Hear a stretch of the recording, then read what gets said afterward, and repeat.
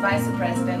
ISA stands for International Students Association, and we consist of 12 board members, and throughout the nine past years, we have worked tremendously to increase ISA's involvement in all university matters.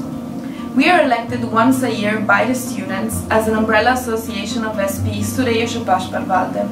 We have 10 national societies and 7 affiliated ones with whom we work together and collaborate throughout the year to promote the different cultures at RSU.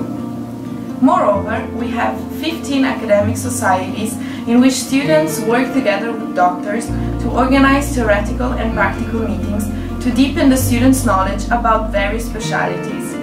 If you're interested in running in any of the positions in the ISA board, feel free to contact any of us. And remember, ISA's elections this year will take place on the 5th of November. So see you around!